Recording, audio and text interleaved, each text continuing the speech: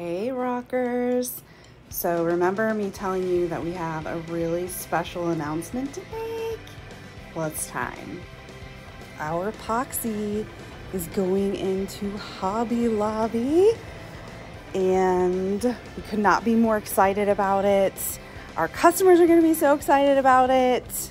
It's gonna be hitting shelves in September, so please run to Hobby Lobby and get your picture taken with it. We would love to see it. This truly feels like a dream come true. Who would have thought that I've taken this business from basement to Hobby Lobby? It's so exciting. Thank you guys so much for all of your support. We love you guys.